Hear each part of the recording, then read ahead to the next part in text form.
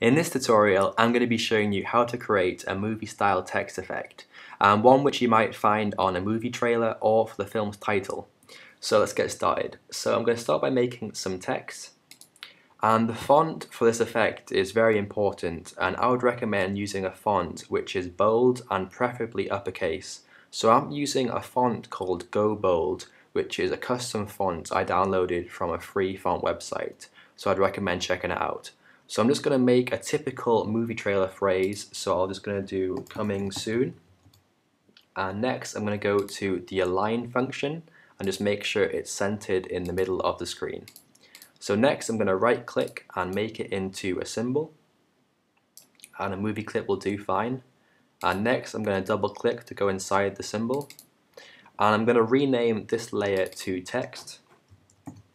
And then I'm going to make a new layer and call this one gradient. So next I'm going to make a rectangle. I'm just going to make it red for the moment so it stands out against the text. And I'm just going to make it roughly go over the text like this. And next I'm going to select it and go to color. And I'm going to select linear gradient. So it's going to give you the gradient which is the default of black to white and this is quite strong and I want something a bit softer so I'm just going to make the black into a dark grey and then the white into a light grey like this. Alright brilliant. So next I'm going to select my gradient and go to a tool over here which is called the gradient transform tool and I've actually made a whole video on this so if you want to check it out you can click the annotation.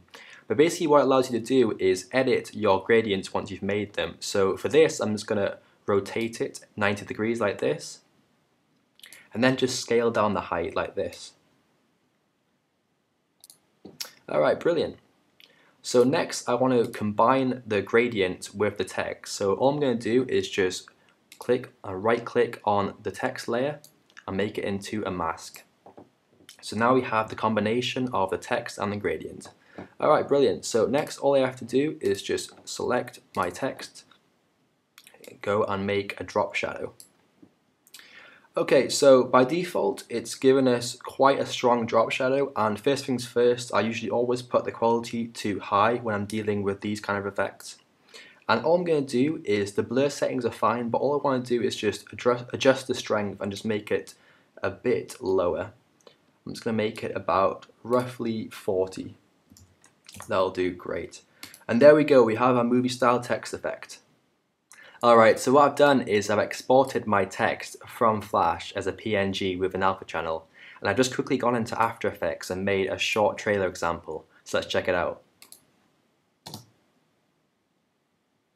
So there you go, it's looking really good. So I hope you found this tutorial useful, and if you want to see more like this in the future, please subscribe.